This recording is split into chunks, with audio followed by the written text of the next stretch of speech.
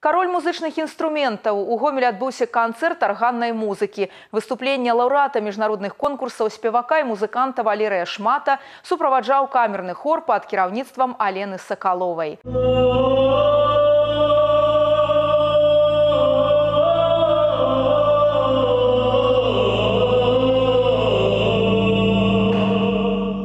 Канцэрт праходзіў у камернай зале палаца культуры чыгуначнікаў, акустыка якой выдатна падыходзіць для аргану. Слухачы змаглі пачуць латынь, італьянская бэльканта, нямецкую, польскую і ўсходнеславянскую мовы. Акрамя класікі Валерый шмат выконвае і ўласныя творы. Ён з'яўляецца аўтарам шэрагу музычных спектакляў, кантат і дзіцячых п'ес. Ёсць тэхнічныя творы, яны складаныя таму, што трэба вельмі хутка граць.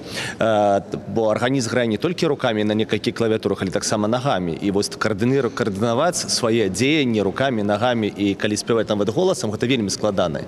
Але я лічу, што больш складана данесці творы, якія не валодаюць такой тэхнікай, але якія маюць прыгожую гармонію, прыгожую мелодыку.